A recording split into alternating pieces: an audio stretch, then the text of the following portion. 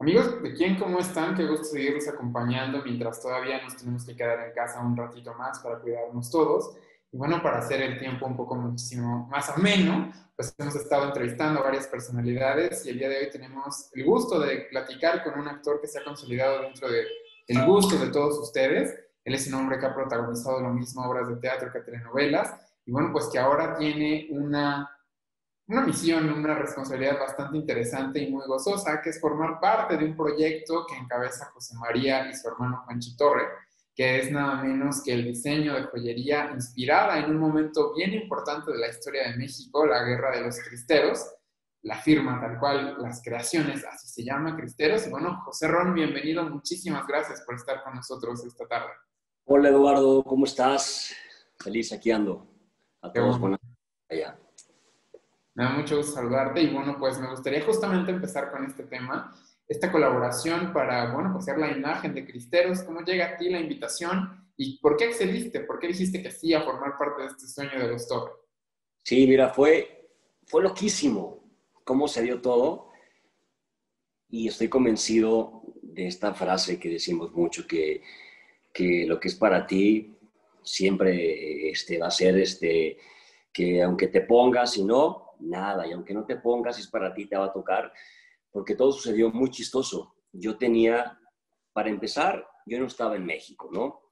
Entonces, de repente me habla Juanchi, me habla un amigo que también tiene que ver ahí mucho con Juanchi, este, una, una amistad laboral, y me platican del proyecto. Y me llamó mucho la atención, ¿no? La parte de la joyería que me encanta, aparte lo de lo que era la historia, de cómo lo querían hacer, cómo lo querían este, retomar, eh, realizar, contar la historia para lanzar este proyecto. Entonces, eh, fue todo rapidísimo. Fui a comer con Juanchi, fue mi manager, me platicó todo, eh, me encantó, me encantó la idea, me encantó todo lo que trae en mente, el cómo quería realizar este proyecto. y además, pues viene siendo también algo distinto en el sentido visual de lo que yo también he estado como, como haciendo, entonces me llama mucho la atención. Eh, ya platicando, pues en cuestión de tiempos, al día siguiente era la grabación, imagínate. Entonces yo no podía, porque tenía estudio apartado, estudio pagado para grabar cuatro canciones en, en la batería. Entonces, o sea, todo estaba para que no estuviera yo y pues después de platicar con él, vi la opción de mover el estudio. Eh, total, se pudo dar lo del estudio. Yo llegué a México, el siguiente día tenemos que irnos a Tequisquiapan, temprano, dos días. Todo fue, fue de volada, se dio muy, muy de imprevisto, pero creo que también son los mejores planes, ¿no? Porque todo quedó increíble.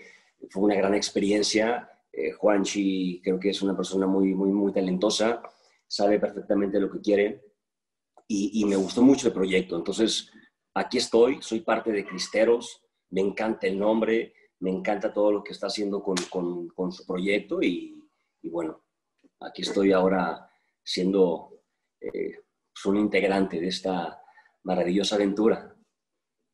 Pero además es bien interesante, ¿no? Hablaba yo un poco del concepto que tiene la, la marca, esta, bueno, que está más joyería de lujo, ¿no? Hablando y retomando un poco de la historia que fue eh, de nuestro país tan importante, platicando con José María hace unos meses, nos decía justamente que ellos querían impregnar en la joyería justamente esta, más allá de una lucha en cuanto a la religión, porque todos sabemos que los cristianos precisamente defendían esta parte, ¿no? Era como que la gente tenía fe en algo y pues cuando tenía esa fe estaba dispuesta a llegar a lo máximo, ¿no? A, a los máximos sacrificios, al máximo gusto por apoyarla, por, por llevar esa bandera con ellos y que eso es lo que quería, ¿no? Imprimir en la joyería. Tú que ya la conoces, tú que eres la imagen, ¿a ti qué te parece? ¿Coincides también en estos conceptos que ellos tienen? ¿Cómo, cómo formar parte de esto? Totalmente, mira, me encanta desde el, desde el nombre, los diseños que representa este hombre de lucha, este hombre de, de salir adelante, de luchar por ideales, de salir siempre para adelante. Entonces, creo que también es un mensaje muy, muy bonito, muy lindo. Y, me encanta pues todo lo que rodea la parte de Cristeros, ¿no? todo lo que hicimos por allá, por Tequisquiapan, también quedó padrísimo. Eh, las locaciones, eh, la joyería se ve increíble y aparte los diseños pues también tienen un toque muy especial, distinto a, lo que podemos conocer o, podemos ver. Entonces, me encanta, o sea, me encanta, soy orgullosamente un, cristero y pues ya deseando que, que lo conozcan pronto también ustedes. Oye, justo retomando un poco tus palabras de hace un minuto, me gustaría saber en tus propias palabras cómo defines al hombre cristero, porque además esta también es otro tabú que había, ¿no? De pronto la joyería en los oídos, en, en las manos, era algo más que se pensaba antes, ¿no? Que, que, era solo exclusivo para las mujeres. Y hoy poco a poco, afortunadamente, hemos también evolucionado en ese sentido y también se sabe ahora que es válido y que se ve además súper bien, ¿no? Los hombres también utilizan todo este tipo de accesorios eh, cuando están también bien hechos, muy bien planeados, muy bien sentados, como es el caso de Cristeros, ¿no? Totalmente, creo que hoy en día más y más hombres pues, utilizamos lo que es la joyería. A mí me encanta, yo soy mucho de, aretes, de collares, coliges, esclavas. Cuando conocí eh, la marca, cuando vi lo de Cristeros, me pareció increíble. Y, y para mí, pues viene siendo lo que te acabo de comentar este hombre de lucha, de perseverancia, de luchar por tus ideales, por tus sueños, por lo que tú quieres, de que si caes, levantarte. Y, creo que es muy parecida pues, con mi forma de pensar, ¿no? que siempre me, me gusta ir hacia adelante, me gusta luchar por mis sueños, pero de una manera que no te imaginas. Entonces, creo que fue como una fusión muy linda con, con, Cristeros, con, con, Juanchi, en la amistad, hicimos también como un clic, eh, la energía, la armonía, la vibra de trabajo, entonces fue, fue padrísimo. Entonces, para mí el hombre cristero representa eso, ¿no? el hombre como de lucha, de, de perseverancia, de mucha pasión y de siempre seguir para adelante. Y retomando esta parte de seguir para adelante, tan interesante además que en este momento en tu vida, cuando estás hablando de una marca que representa eso para ti, que es lo que nos ofrece en ese sentido los hermanos Torre, también tú estás evolucionando en ese sentido, ¿no? Estás viviendo momentos, bueno, que te han sacado de tu zona de confort y que eso también siempre ayuda para crecer, para evolucionar, para ser una mejor persona. ¿Cómo ha sido para ti todo este momento, eh, José, después de la pandemia? después de la decisión también, ¿no? Dejarla, bueno, no dejar de lleno la, que ha sido tu casa toda la vida, pero sí tener una relación desde otros términos, ¿no? Con, la televisión que te dio casa todo el tiempo. Sí, ha sido un proceso de mucho crecimiento y como tú dices, sí, estoy enfocado en este momento mm, más, más a la música. Estoy dejando, no es que la, que la vaya a dejar, pero sí la música la he dejado por cosas, por tiempos, por, por por trabajo, por cosas de la televisión, pero ahora estoy como retomando. Y casualmente, fíjate, antes de, estar aquí con, con, el Zoom, estaba, estaba tocando la batería, eh, estaba hablando con algunos de mi banda y traía mucho el pensamiento, quería subir como un post también sobre lo que acabas de decir. Eh, pensaba mucho esta parte de luchar por los sueños, de creer en uno mismo, de creer en ti, de, que siempre habrá adversidades en la vida, pero creo que todo depende de uno mismo, ¿no? Siempre me he caracterizado por ser una persona que me gusta accionar, soy un hombre de acción, me gusta hacer que las cosas sucedan, porque las cosas no van a llegar solas. Entonces, esta parte que tengo de, iniciativa, de, buscar, de, hacer, de actuar, y, y, quería poner un, post sobre esto también para que la gente le llegue. Me gusta como motivar a la gente de que crean en sus sueños, de que siempre sigan para adelante, de que no hay sueño pequeño, pero lo más importante es dar el primer paso, accionar, porque las cosas no van a llegar solas. Entonces, que me comentes esto se me hace también eh, chistoso porque hoy estaba pensando en eso, ¿no? Y casualmente también va con la parte de cristeros, que es esta, esta, esta persona, este hombre que tiene que luchar, que tiene que creer, donde pues la vida eh, no es fácil, es, es, bellísimo vivir, pero en la vida hay que luchar, hay que hacer sacrificios, hay que poner el corazón para seguir adelante y que pase lo que pase, siempre debemos de tener mucha fe, confiar en, en Dios y con la mira siempre para adelante.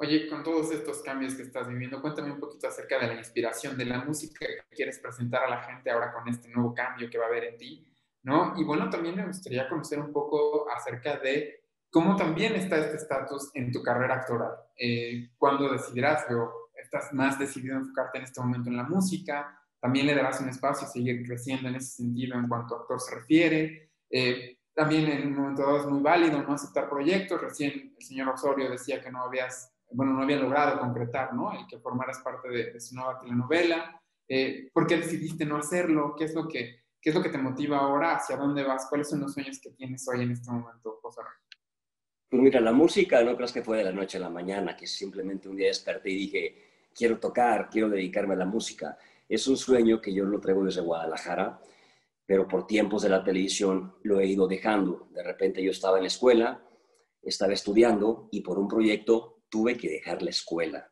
para hacer el proyecto. Entonces, así fueron varias ocasiones. Eh, retomaba la música y llegaba otro proyecto, o estaba en un proyecto, por ejemplo, con Lucero Suárez, le pedía pues permisos y tiempos para que me diera que me dieran de ensayo para estar con mi banda. Y Lucero me los daba, tenía mi tiempo para la banda, pero de repente con los tiempos de grabación se vuelve también muy complejo y muy complicado. Entonces, por una u otra cosa, la banda se quedaba, se quedaba la música y se quedaba hasta que terminé Te doy la vida y dije, o sea, debo de también hacer o, poner una parte de mí para lograr también la música. Es algo que me apasiona, que desde Guadalajara inicié con esto, yo llegué al SEA, dejé la música por un lado, me fui al mundo de la actuación y es como retomar este gusto, este amor y esta pasión porque muy poca gente sabe lo que representa para mí la música. Me hace demasiado feliz. Creo que en la vida venimos a hacer eso. Lo que nos haga felices hay que hacerlo todos los días, lo que nos emocione, lo, que nos alegre el corazón. Y la música tiene ese, e, e, efecto en mí, pues poderoso de, transformarme, de emocionarme, de ilusionarme, de motivarme. Y es una pasión que está en mi corazón y ahí la puso Dios. Entonces, sí tengo súper decidido ahorita darle por ese camino, sin descartar si más adelante llega algún proyecto, eh, habrá que, analizarlo. Creo que también algo, pues a mi favor es que no tengo contrato en este momento con Televisa, porque cuando tienes exclusividad, bueno, sea lo que sea, si finalmente la empresa quiere que, que hagas el proyecto, pues lo vas a hacer y tus sueños, pues importan un pepino. Entonces, en este momento, que puedo también eh, decidir, pues estoy sobre eso, ¿no? Sobre, sobre mis sueños, enfocado en la música, que también me encantaría eh, avanzar y, y, hacer un caminito por ese lado. Con Juan, muy agradecido por la oportunidad, por tomarme en cuenta. No se dio, como tú dices, eh, no llegamos a, a, ningún arreglo, no hubo pues una pues un, un, buen acuerdo para yo estar ahí en, en ese proyecto, pero agradecido con, con, él. Tiene una historia maravillosa, seguramente la va a ir increíble. Y yo por mi lado, pues nada, la vida continúa, seguiré con, con la música. Y si más adelante llega un proyecto que me emocione y que también quiera hacer, sea en televisión, sea una serie, sea teatro o lo que sea, pues también lo, lo, voy a hacer porque también la actuación me gusta, son mis dos pasiones, no podría dedicarme solamente a una, dejar la, la actuación y hacer la pura música o viceversa, entonces creo que las dos las necesito en mi vida porque me complementan, me llenan, pero en este momento creo que tengo que también sacrificar cosas en la actuación, hacer sacrificios para cumplir este sueño de la música. En la vida hay que hacer sacrificios. Entonces, estoy en ese canal, estoy enfocado con esa energía, donde todos los días me siento en la batería, eh, practico, eh, repaso y, y, preparo pues sorpresas que tengo para, para más adelante.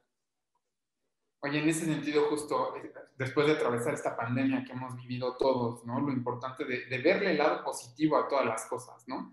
Y una parte esencial y fundamental de no tener este contrato de exclusividad que para muchos cuando empezaba a suceder era como rasgarse las vestiduras, hoy casi todos los actores se han dado cuenta que al contrario, es algo positivo tener esta libertad justo para poder cumplir otros sueños, para poder vivir otras experiencias, poder vivir, vivir también otras televisoras, otros proyectos de plataformas, no lo sé eh, quiero pensar que tú has, has tomado esto también de, de, la mejor manera, ¿no? Es como la visión más, más acertada, ¿no? De, de, este proceso que estás viviendo tú también. Totalmente, totalmente. Y estoy súper agradecido también con la empresa. Imagínate, llegué a los 19 años a Televisa, al SEA. Tengo 39 años en este momento, o sea, 20 años. La mitad de mi vida ha estado en, en Televisa, entonces mucho agradecimiento. Todo lo que he hecho y todo lo que tengo es gracias a Televisa. Entonces, mi cariño y agradecimiento estará eh, por siempre. Pero sí, uno va evolucionando, los, los tiempos también cambian y si en este momento también hay mucha apertura en cuestión como de contenidos para estar en cualquier lado, pues también es una muy buena oportunidad para hacer otras cosas. Entonces, este, yo nunca estaré cerrado en la posibilidad de estar en Televisa, de hacer otra cosa en Televisa. Al contrario, si llega algún proyecto, padrísimo, pero sí en este momento, pues coincide en que yo estoy con la inercia y con la energía de la música y venía también de trabajar, de, ligar proyectos, donde pues también creo que necesitaba un tiempo para, para mí, para mis cosas, y si no se llegó a un acuerdo, pues fue también porque así tenía que ser.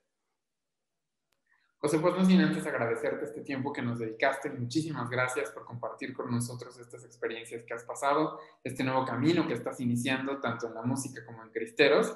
Me gustaría, antes de dejarte todos los micrófonos para que invites una vez más a la gente a que conozca esta propuesta de joyería que estás impulsando hoy, invitar a nuestros amigos de Quien que no se pierdan toda la información que tenemos por ustedes a través de quien.com, la realeza, las, el espectáculo, el cine la televisión. Y bueno, nuestra edición impresa de octubre ya está lista. Analizamos los 15 años de la princesa de Asturias, Leonor, quien va a ser la primera mujer de la era moderna en convertirse en reina de España. Entonces, pues es una edición imperdible. Y bueno, pues ahora sí, José, toda la cámara y el micrófono para ti, para que invites a los amigos de quien a conocer Cristeros. Y bueno, por supuesto, que los invites a que estén pendientes de tu proyecto musical. Y una vez más, un millón de gracias por este tiempo que nos dedicaste. Gracias. Amigos quien los quiero invitar para que no se pierdan este maravilloso proyecto llamado Cristeros. Les va a encantar todo, el diseño, la joyería, el proyecto, eh, lo que, lo que, todo lo que, lo que vaya a salir y no se pueden perder la entrevista, por supuesto, aquí en Quién. Que Dios los bendiga. Besos.